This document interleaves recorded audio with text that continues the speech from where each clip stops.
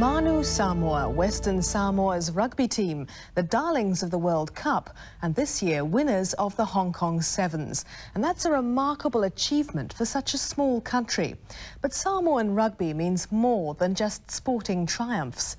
The success of the team has done wonders for the spirit of Samoa, which took a battering from Cyclones Val and Ofa. Last weekend, Scotland's national side played a test against Samoa and found they were playing more than a team. They were playing the pride of a nation. Michael Wilson with this report.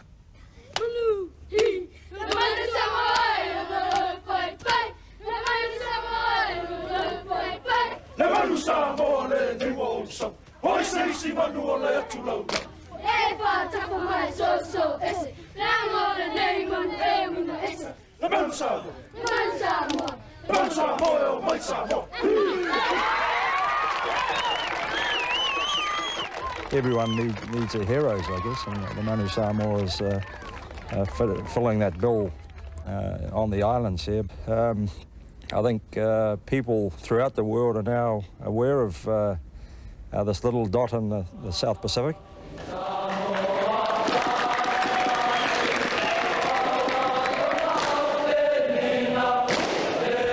Put this tiny nation of 160,000 people on the map is the success of its national rugby team, Manu Samoa. On him by Richie Collins. As they move it wide again, there's numbers here for the Samoans.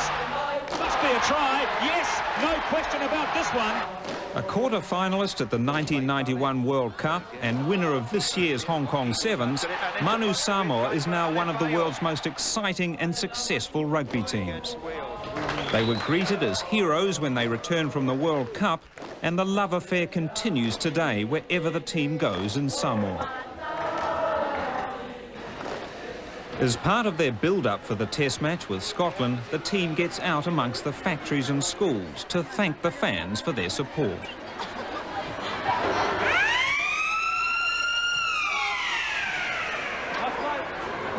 Half time, half time. Oh, it's great in the world. it's number one team in the world. Oh, super guys who playing the super game. I love it.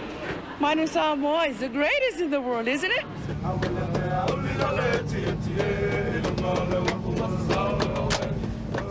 The team's most distinguished fan is the 83-year-old head of state, Malietoa Tanumafili II. We are trying to, uh, to adopt all the best from outside, from outside. And uh, may God bless the world of sports, the world of sports. And may God bless our team too. Thank you very much. Has it made Samoa proud? Very, very proud indeed.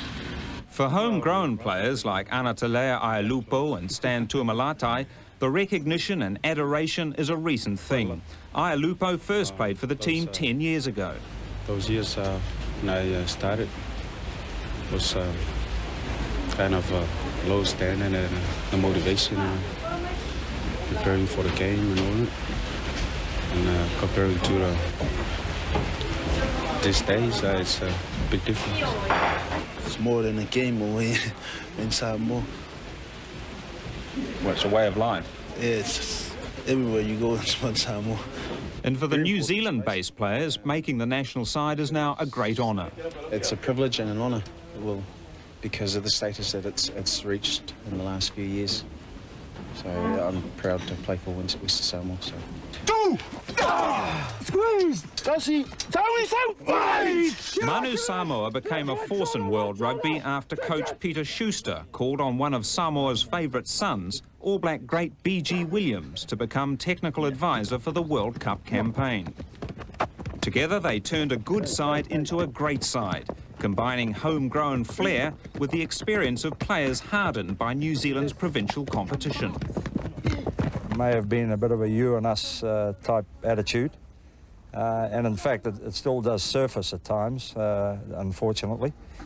But um, uh, once the, the, the, boys get together, uh, there is this, this feeling uh, of, of um, you know, we are Samoa, and I don't think you're any less a Samoan because you, you live in New Zealand. Um, And, and the people uh, who, who, are Samoan based uh, realise that, that they see uh, how uh, we adapt and, and how proud and, and loyal uh, to the cause uh, we all are. And I think that breaks down any, any barriers. Any regret for you that you didn't have strong Samoan roots when you were growing up? I think I'm discovering uh, my roots more and more. Uh, I was brought up in uh, New Zealand, born in New Zealand, and um, uh, my dad was Samoan and my mum was part Samoan, but she was brought up in Rarotonga, so uh, she couldn't speak Samoan herself, and uh, I, I, never learnt the language, which is a great pity to me. I'm just so happy to be able to, you know, pass on all the experience that I have had in rugby, and, and to see it bearing fruit. It, it uh, gives me a great deal of stimulation. Another key player in Manu Samoa's success is Captain Peter Fatialofa. Bats, bats, bats. You got a pad, man. I know. Where's the pad? I lost it. Come on. After missing out on All Black selection, Fats joined Manu Samoa in 1988. If it wasn't for Samoa and where we are now, I mean, where would I be playing? I mean, I wouldn't even be here talking to you, to be honest, you know. The, the success of Manu Samoa, what impact do you think it's had on New Zealand Samoans? You can see, like, it's just like here. They've got someone to look up to. And uh, our team has given Samoa uh, an identity, I think, you know.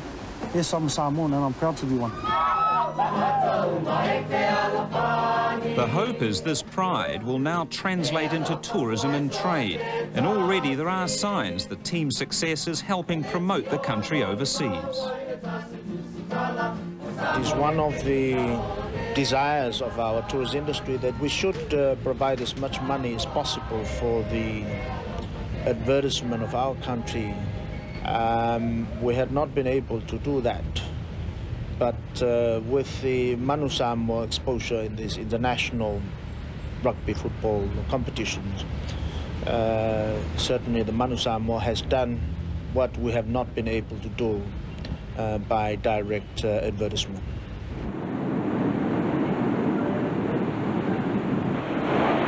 Setting back Samoa's push for prosperity were two brutal cyclones in two years. They were the worst the country had experienced for over 100 years. There are few signs today of the devastation wrought by cyclones Val and Ofa.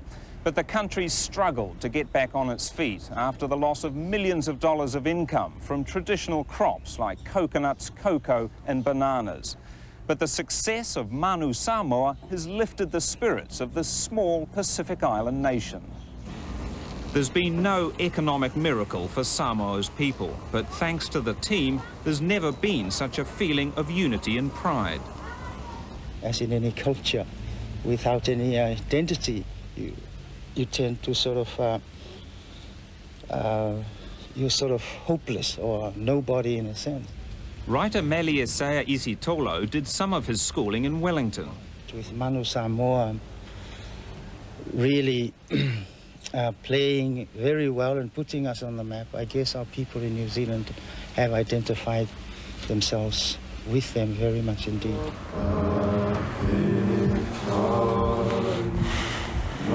The game against Scotland is just a day off.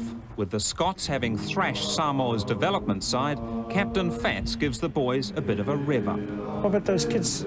Those kids at St. Stevenson. Those kids, man, look at their, their eyes are. They respect us. They look up to us. Think about those kids when, when we go on tomorrow. This morning, we went and saw the head of state. And you see how happy he is. You know, he's 83 years old. You could see we just lighted his life up. It's still his birthday, you know. We've dedicated all our games to him for this year. Wouldn't it be a good night for us to win tomorrow? We're all brothers, we're Samoans, and that's the way we are. Although the, a lot of us weren't born here or, or, brought up here, we still have in common that we're all Polynesian, and um, basically all Polynesians are the, the, same, brought up the same way, the same beliefs and same ideals. Whenever, whenever we have positive results, it lifts the, the morale of the country and you know, we go overseas and they, they suddenly realise there is a place called uh, Western Samoan. As you go around New Zealand now, you just see Samoans are proud to be Samoans. They're just coming out of the, out of the woodwork. As the big day draws closer, the Manu Samoa spirit grows more intense.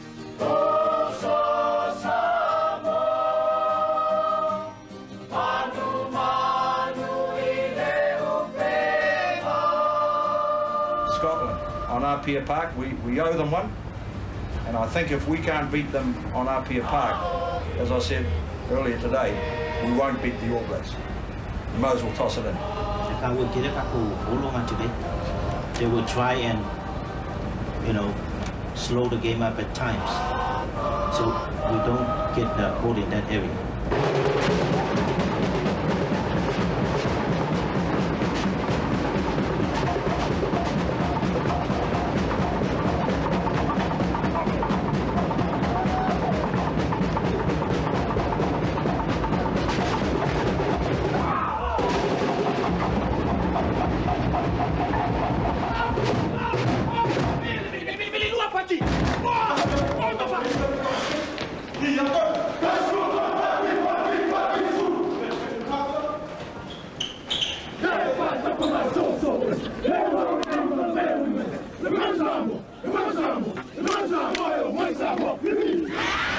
See the players, they, they want to win for the people because the people believe in us. But I think Samoa's got to this occasion where, you know, you can't win them all situation. But you have to win all of them here. It's there again for the Scottish backs, for the Samoa backs, Khaled. Vaega going on his own, the little dummy. Vaega.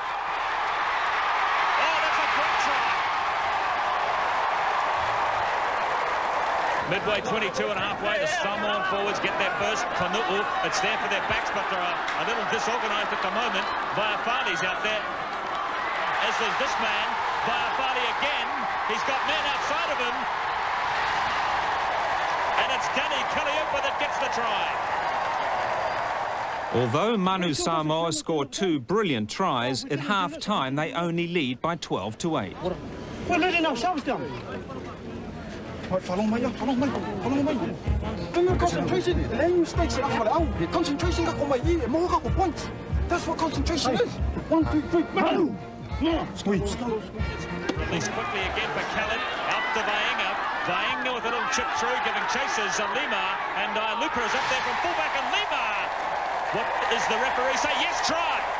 Samoa's blistering pace and the heat are too much for the Scots. It's another triumph for Manu Samoa, 28 to 11.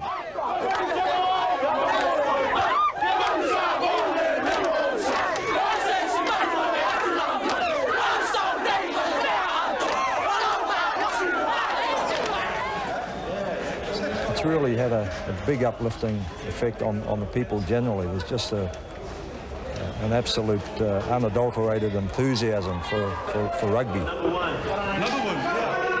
Yeah, all, all those different things have, have really uh, contributed to a whole uh, air of confidence and, uh, and up and at 'em sort of attitude.